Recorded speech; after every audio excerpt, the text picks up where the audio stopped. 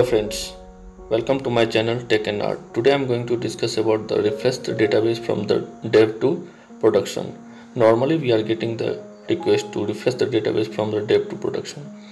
For that you need to take the backup of the database, development database, copy the backup file from the source to target, restore the development database with production DB backups, okay, and you need to fix the orphan users and then you need to match the table count at the source database and target database.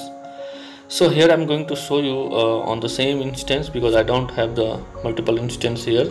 So i will take the backup and i will do the refresh with the same approach.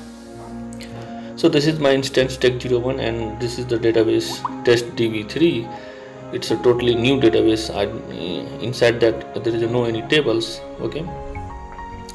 So what i'm going to do i'm going to refresh this database from the testdb2 because I don't have another instance here uh, so just I am showing uh, showing you the approach how to do that actually.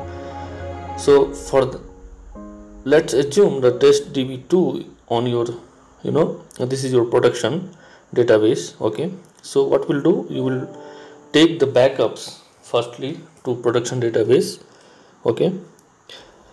Because you are going to refresh the database from the production to dev.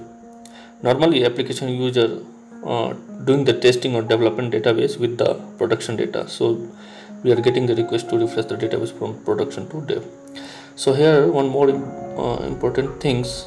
Uh, while taking the backups you need to check the copy only backups. So it will be uh, it will not break the lsn the scheduled backup jobs on that particular instance. If you take the full backup it will break the backup schedule jobs and the next backup will be failed. So you must you need to select the copy only backup. So my backup is done now. Let me verify the backup. So this is my backup location. Let me modify with date. Yes so this is the backup the database test db2 so that backup you need to target uh, transfer to the target server and you need to refresh the database. So now i'm going to refresh the database test db3 right click on database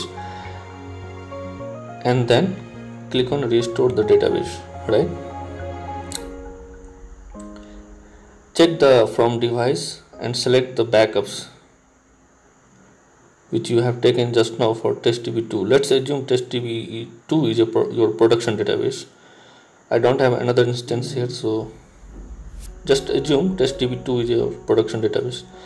Here you need to select the overwrite because you are going to overwrite the database testdb3 with the production database backups. Leave it with the you know recovery because i'm not going to apply another backups. Click on ok. Oops so probably i'm getting error here why? Because i think uh, you need to you know uh, mm, give the access on that part uh, of that particular database test db3 mdf and ldf because you are going to override. So it's a I, it's it's not able to access the database file test db2 and 3 so you need to mark the database file test db3 mdf and ldf okay so go to the file location database file location and keep the complete you know. Yes.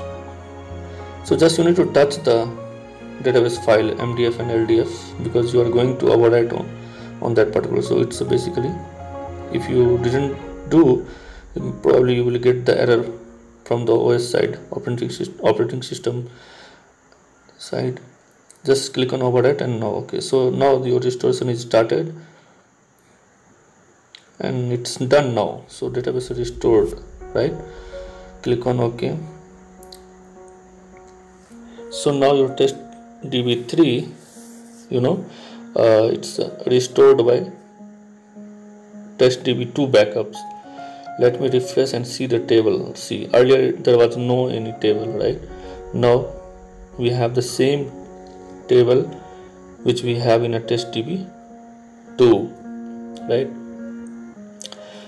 So basically you need to verify the table counts and after that you need to fix the orphan user also in so basically once the restoration done you need to do the couple of things uh, post restoration so you need to fix the orphan users if any orphan user because uh, while transferring the uh, you know backup file from the legacy to target so couple of user will be orphaned. So you need to you know fix the orphan users. You need to match the sid for that couple of there are three steps. Uh, you you can first find the orphan user list through the sp command.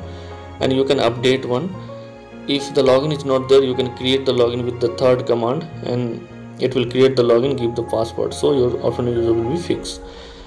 In this uh, scenario uh, i have performed on the same instance. So there is no orphan users and the second thing uh, you know uh, you need to check the table counts of the legacy database um, i mean the production database and the development database. So this is the command uh, information underscore, schema dot tables. Through through this command you can find the ta exact table count from the production to development. So the hope it's clear the restoration process. Thanks for watching